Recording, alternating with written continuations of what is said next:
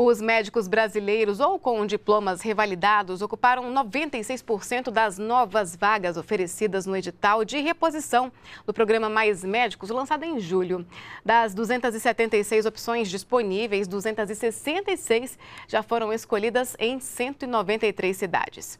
A lista com o resultado final foi publicada hoje na internet. Os profissionais têm até amanhã para apresentar a documentação no município escolhido e já devem iniciar as atividades atividades a partir da próxima segunda-feira, dia 3 de agosto.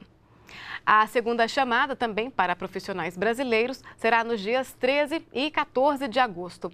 Caso as vagas não sejam preenchidas, o edital será aberto aos brasileiros que se formaram no exterior e, em seguida, aos profissionais estrangeiros. Os próximos editais estão marcados para outubro e janeiro de 2016.